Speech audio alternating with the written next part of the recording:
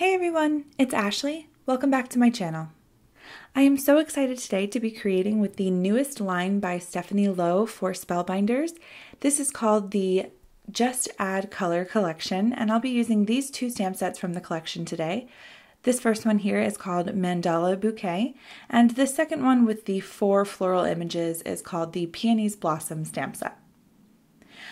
I like to use all of my cardstock, every last scrap. So I'm positioning all four stamps from the Peonies Blossom stamp set onto this piece of scrap white cardstock that I have, and I'm using my MISTI to stamp them all at the same time. I'm going to go ahead and move, remove that foam pad because these are cling stamps, so it's not necessary to have it in. And it's actually a little cumbersome when you're trying to stamp cling stamps with the rubber on it when you have that foam pad in there.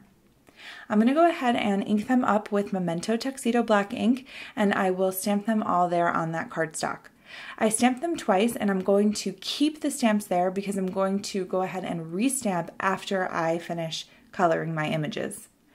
I'm taking a slightly larger piece of cardstock and I'm adding this bouquet from the uh, mandala mandala bouquet stamp set and I'm just going to add that there and that way I don't have to stamp them separately I can stamp them all at the same time and this will be helpful for when I want to go ahead and restamp as well later on after I'm done doing my coloring.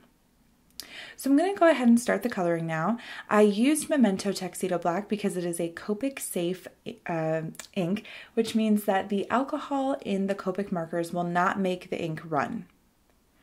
I'm going to do this first petal in real time so I can show you my method for Copic coloring.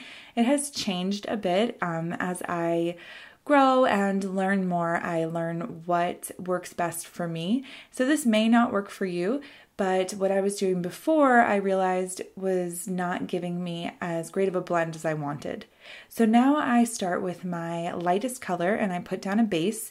I then go in with my darkest shade which doesn't actually end up being my darkest shade, but I'll show you in just a moment. But I go in with my darkest shade and do my um, darkest colors where my shadows and shading would be. And then I go in with my mid-tone and blend that all out together. And then I go in once more with my lightest color again over the entire thing and this helps it blend a bit.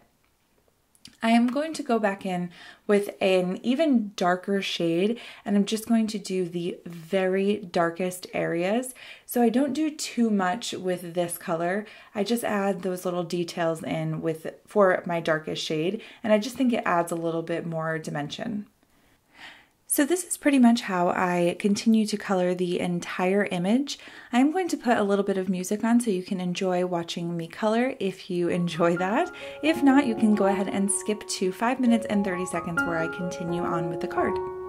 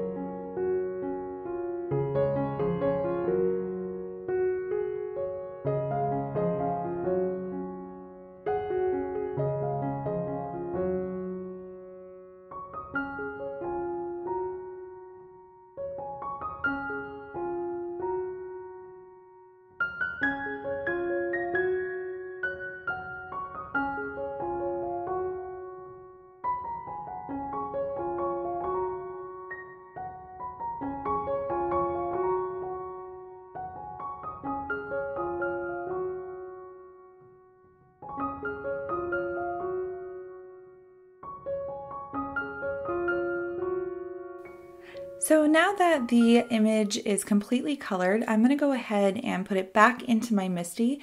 Because I did not remove the stamp, this is going to stamp exactly the way that it did before.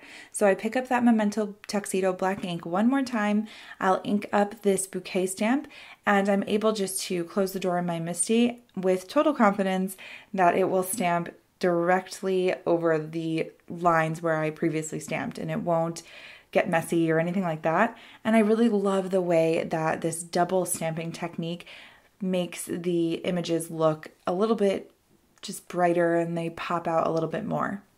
I had originally only planned on using these two florals in my card, so I'm creating the background for my card at the at the moment, and I'm going to be using the diagonal pinstripe background stamp from the stamp market. And I'm going to place that in my MISTI and you can see that I've put my cardstock here right in the center of my MISTI and this is so I don't get any spaces where the stamp doesn't touch the card. So none on the corner or on the side. And I'm going to go ahead and put the foam pad back into my MISTI because I'll need that for a clear stamp because it doesn't have that rubber with it. I'm using Simon Says Stamp Intense Black ink to ink up my background stamp and I get this really nice, intensely black uh, pinstripe background, which I think is going to look really nice with the bright florals and, and the white card base. I've decided to use the sentiment, you might be my favorite face on the planet, and this sentiment is from the Ink Road stamps. I stamped it with uh, VersaFine Onyx Black ink onto a white piece of cardstock and I trimmed it down. And then I thought it would look really pretty if I added a little bit of sparkle and this was the perfect way to do it. So I'm just using this glitter cardstock here and this is in a gold color. I'm adhering it with glue right to the bottom right hand corner and then I'm going to trim it really closely so that it matches on all sides and it's evenly showing. I just want a tiny bit peeking out. I don't need a whole bunch of glitter. Just a little bit is fine with me. So now that I'm done trimming that up, I'm going to place it back onto my card front and rearrange the florals how I think that I would like them to look in the end. As I was putting them on, I decided, you know what, I need a lot more flowers, which tends to happen a lot with me. So I went ahead and colored all of the flowers that I had stamped and I put them in the center of my card front and then placed the sentiment on top of them to make it look like the flowers were growing over the sentiment.